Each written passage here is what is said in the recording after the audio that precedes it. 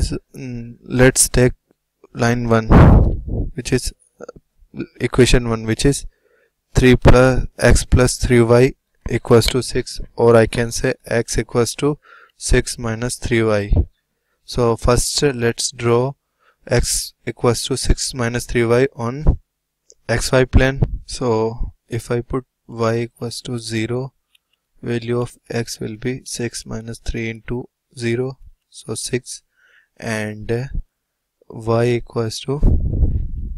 2 value of x will be 6 minus 3 into 2 which is 6 minus 6 equals to 0 or I can say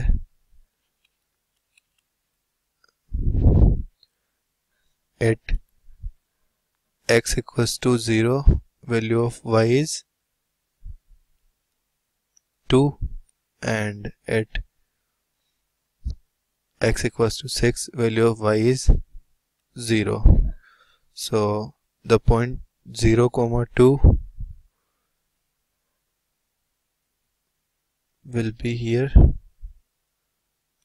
And the point 6 comma 0 will be here.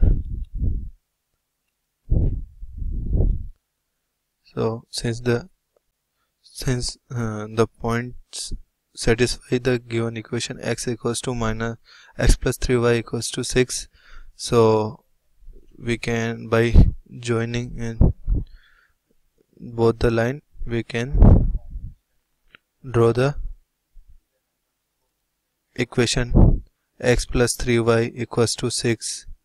so I'm just join just joining the line. So it will be the line x plus 3y equals to 6 now let's take second equation which is 2x minus 3y equals to 12 or I can say 2x equals to 3a 3y plus 12 or value of x will be 3y plus 12 by 2 so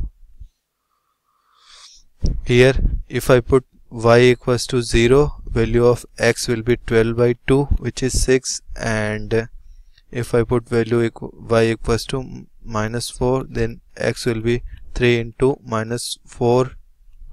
plus 12 by 2 which is minus 12 plus 12 by 2 0 or I can say that uh, at x equals to 6 equation gives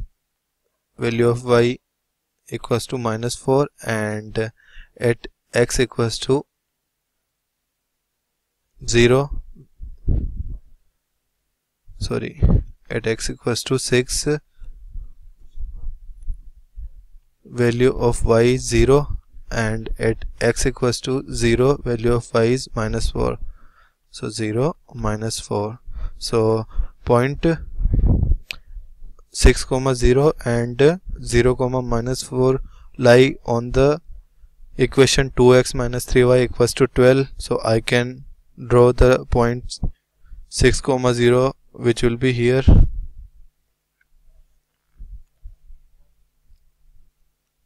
And the point 0 comma minus 4 will be here. So so the line which passes through both the point will be this line. And since both the lines are intersecting the at a point 6 comma 0 so I can say that the solution of this equation will be x equals to 6 and y equals to 0 so this will be the solution of pair of linear equation. Since the pair of linear equation uh, has has unique solution. So I can say that